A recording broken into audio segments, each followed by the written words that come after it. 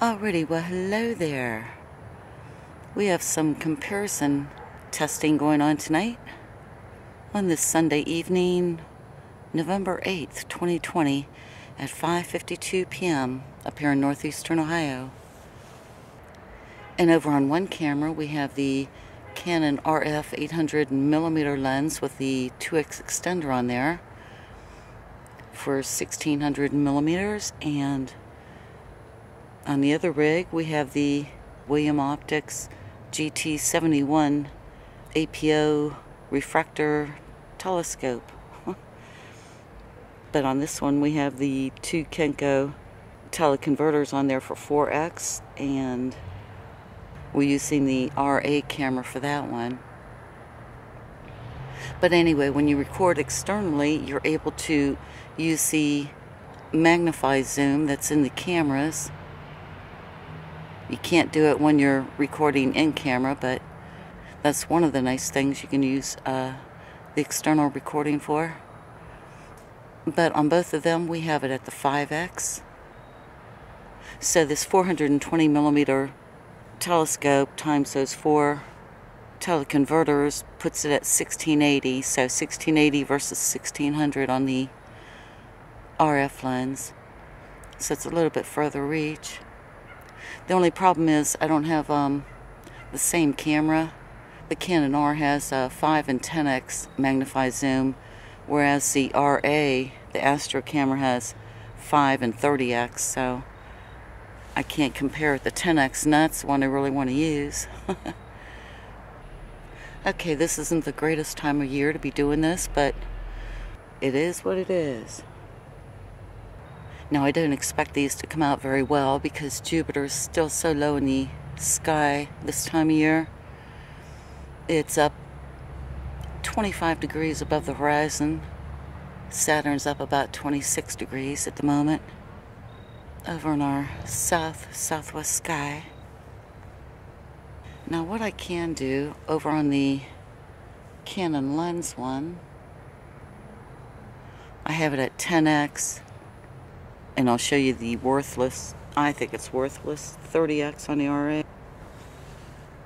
And like I said, they're not going to come out well. We're cutting through so much atmosphere right now, hundreds and hundreds of miles, so that's not what this is really about. This is a tad hard to do, jiggling two mounts, telescope, cameras, lenses, but there we go at the 1600 and 1680. And there we go at the times 5. I think that takes us to 8400 millimeters. A little bit more on the telescope. Alright, now... Now we had the cameras at 160th shutter and ISO 800, but we're going to brighten it up so we can see the moons. Alright, there we go. I would like to get a 10x version of that though. And down around the, let me get the other camera just a second. Yeah, it looks like we have a moon planet over there about the 5 o'clock position. You can see it real well on the 30X version. But it's also showing up on the other one too. Cool. Alright, now from there we could try Saturn. And it's probably going to come out just as bad as this, but that's alright, that's not what we're... We're not after the greatest shots. We're after a comparison here of the Canon lens over the uh, telescope. Alright, so we got a clip of both of them at 5x and then one at 10x on the other camera. Alright, there we go. We have Saturn at 30x on the one camera with a telescope and 10x over on the Canon RF lens. Actually, Saturn looks like it might be coming in pretty well tonight. As well as can be expected for being so low in the sky. But that's quite cool. And like I said, well, if I didn't say it, I was thinking it. the 10x version of the one camera, I'll try to do a crop zoom in Final Cut Pro to match the size. And just so you know, we're not very level here and we're getting a bit of drifting, but that's okay. Both these rigs have a Skywatcher AZ GTI tracking mount on there. And I just did a basic daytime alignment on Jupiter. Alright, it's 6.15 p.m. and Saturn should be 25 degrees above the horizon with Jupiter about 24 degrees. And Mars is up, but um, there's trees blocking away, and I would have to move all this gear, which it took me four trips just to get everything all set up. So I don't think I'm gonna bother with good old Mars tonight. I hope you don't mind, buddy.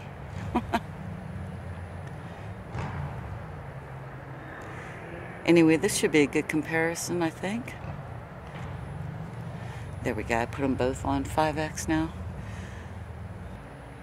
Alrighty, this is just a fun comparison between the two. Telephoto lens against the telescope. And I have a feeling they're going to come out pretty similar. And yes, we do lose a lot of sharpness and clarity when you use extenders and teleconverters and, and Barlows and all that. But for those of you who've been around for a while, you know that I push the limits and it's just something that I do. I enjoy pushing the extremes here. And there are a few people who did want to see the comparison. Um, probably the best comparison is to take pictures during the daytime. And I have a few, but they're not um, lined up exactly on the right tree branch, but I could throw that in just to show. But I thought they both looked pretty good. Now when I did that, wow, those dogs are going nuts over there. Now when I did that testing with the other telescope, I did it with prime focus and with PowerMate and all that stuff and did it on daytime stuff and the pictures they, they did not come out well nor the video not in the daytime footage. So I have a feeling that something got knocked around. The mirrors probably the optics might have got uh, messed up and who knows what else happened to it and the box was crushed. One of the boxes, it comes in all these boxes, but, and one of them was really crushed. So, I don't know if something got damaged along the way, but there was just something not right with that.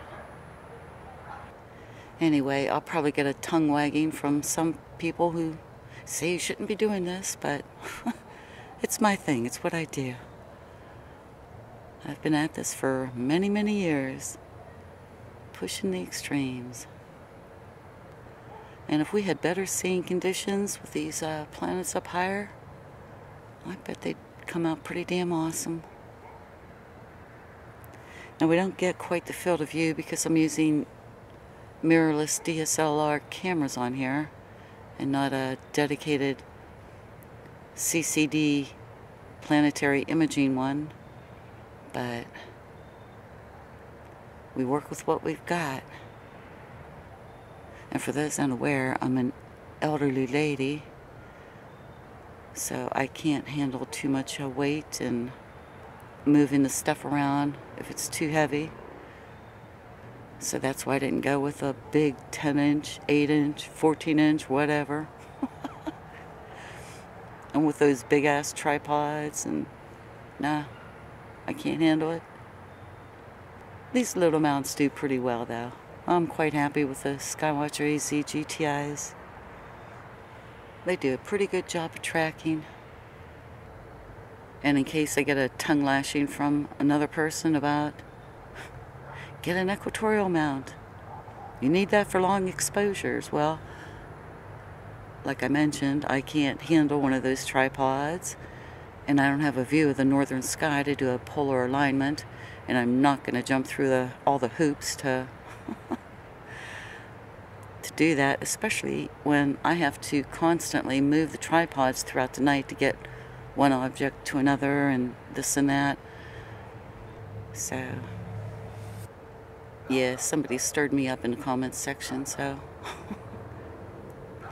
but anyway okay that's gonna do it it is now 6.26 p.m. up here in northeastern Ohio. Boy, oh boy. Noisy northeastern Ohio. Alrighty. Y'all take care. I hope you have a great new week ahead. Bye now.